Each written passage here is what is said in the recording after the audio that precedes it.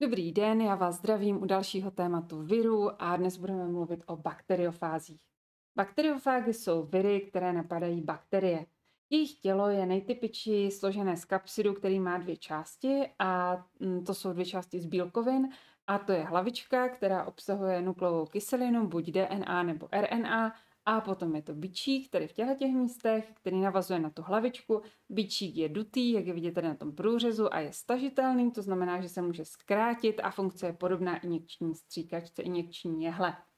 Na bičíkovou plotenku eh, tady dole, na tu bazální plotenku, jsou navázané bičíkové vlákna, které vidíme tady a těmi bičíkovými vlákny se ten bakteriofág navazuje na hostitele, což jsou samozřejmě bakteriální buňky.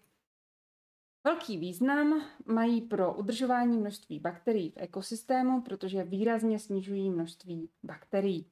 Například tady máme eh, životní cyklus bakteriofága, který se jmenuje T4. A pokud ten bakteriofág T4, který může infikovat bakterii, eh, infikuje bakterii Escherichia coli, tak pokud ten bakteriofág T4 infikuje bakterii, jak tady vidíme, že se přichytil eh, těmi těmi byčíkovými vlákny a tedy vlastně dovnitř se dostává jeho nukleová kyselina, která je uložená tady v té hlavičce, tak přes ten bičík se dostává do buňky. Takže pokud infikuje tu buňku, tak v té buňce se namnoží a vzniká několik set nových bakteriofágů, nových virionů. Tady vidíme tři, ale ve skutečnosti jich může vzniknout několik set.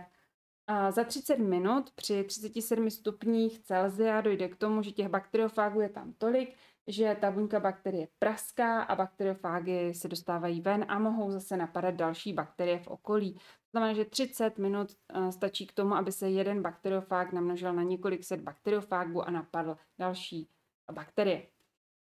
Tady vidíme, jak to vypadá ve skutečnosti. Tady máme nějakou bakteriální buňku a na ní jsou navázané ty bakteriofágy. Tady vidíte i srovnání velikosti bakteriální buňky a bakteriofágu toho viru, který ty bakterie napadá.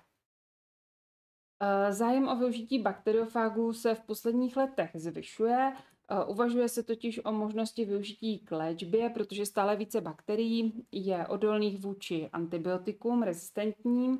Známá je například rezistentní bakterie zlatý stafilokok, kterého máme tady na tomhle obrázku, takže tohle je zlatý stafilokok, rezistentní vůči antibiotikům, takže eh, zvyšuje se podíl, podíl bakterií, na které prostě antibiotická léčba nestačí. Už dříve se uvažovalo o léčebném využití právě bakteriofágu, ale ten zájem o léčebné využití bakteriofágu se vytratil s objevem antibiotik ve 40. letech 20. století, takže bude to zhruba 100 let, co známe antibiotika a když se objevily antibiotika, tak ten zájem o ty bakteriofágy klesl, protože používání antibiotik bylo prostě jednoduché.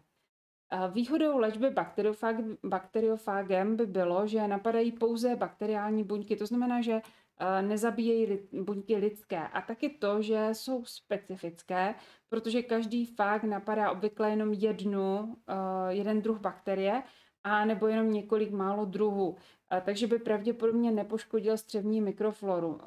Střevní mikroflora, bakterie, které žijí ve střevech, tak tam je velké množství bakterií a u, u širokospektrálních antibiotik dojde k tomu, že vlastně se zničí velké množství, velké skupiny různých bakterií, i ty, které jsou v tom střevě a jsou nám prospěšné. Proto pro používání antibiotik mohou vznikat střevní problémy proto si dáváme používání antibiotik prebiotika, abychom vlastně znovu osídlili to střevo těmi prospěšnými bakteriemi. A pokud bychom používali bakteriofágy, tak je možnost, že by k tomu nedocházelo, že ten bakteriofág by útočil vždycky přesně na tu danou bakterii a neútočil by na žádné jiné bakterie, které v tom střevě jsou, takže specificky by zabíjel jenom toho našeho nepřítele.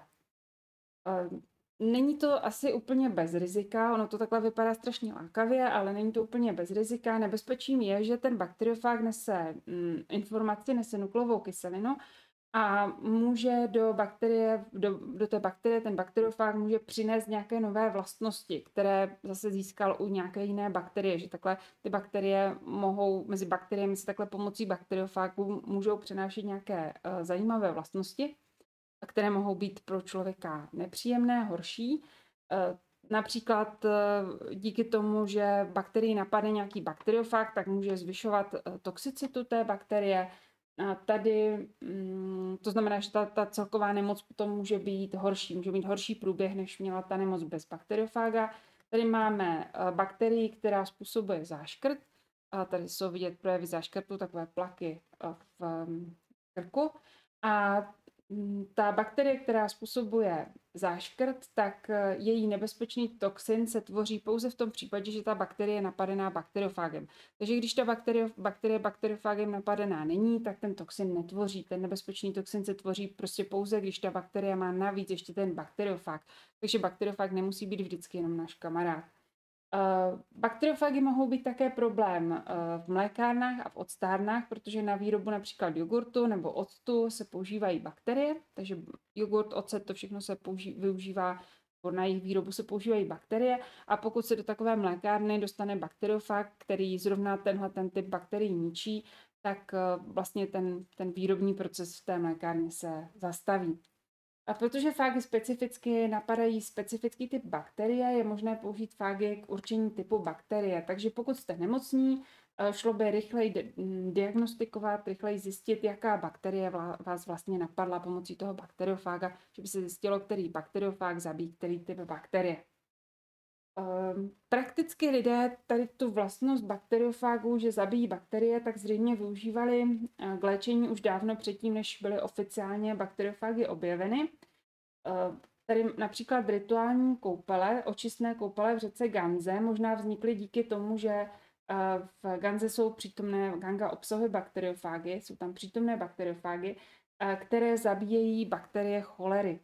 To znamená, že když lidé měli choleru a okoupali se v té ganze, dostali do svého těla ty bakteriofágy, tak se mohli cítit lépe a z toho mohlo vzniknout tady tenhle ten uh, očistný význam například u řeky Gangy. Tak, díky všem, kdo se dodívali až sem. Dnešní téma byly teda bakteriofágy. Kdo má nějaký dotaz nebo připomínku, pište do komentářů a jinak se s vámi loučím pro dnešek. Nashledanou.